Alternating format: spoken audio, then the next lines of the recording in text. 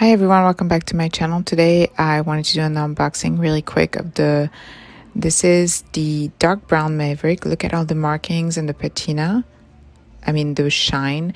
And then the golden brown didn't have that much. It was um I don't want to say disappointing, but I wish I had more of these because the markings are so gorgeous. So in the video I actually put my pocket side Leuchtturm and the golden brown but after that i actually switched them around because i am more into the dark brown right now because it's so shiny and um, the other one needs some work in my opinion. Now i'm very curious i've never held a maverick on how it patinas and if it marks a little more or not or if that's it um, but I'm really, really loving the dark brown with the creme leather. This one, oh, this is so beautiful.